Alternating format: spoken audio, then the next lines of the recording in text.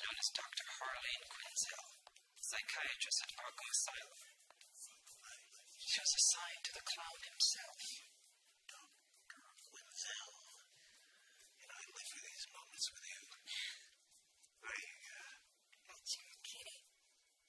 so thoughtful. She thought she was him, but she was falling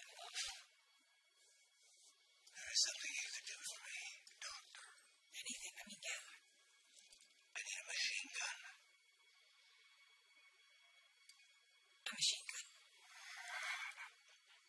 Talk about a workplace romance gone wrong.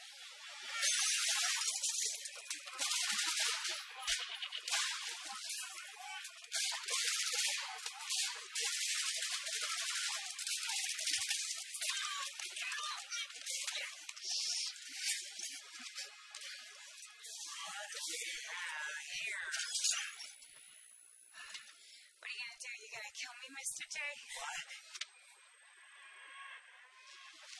I'm not gonna kill you. I'm just gonna hurt you. Really, really bad. You think so? Well, I can take it.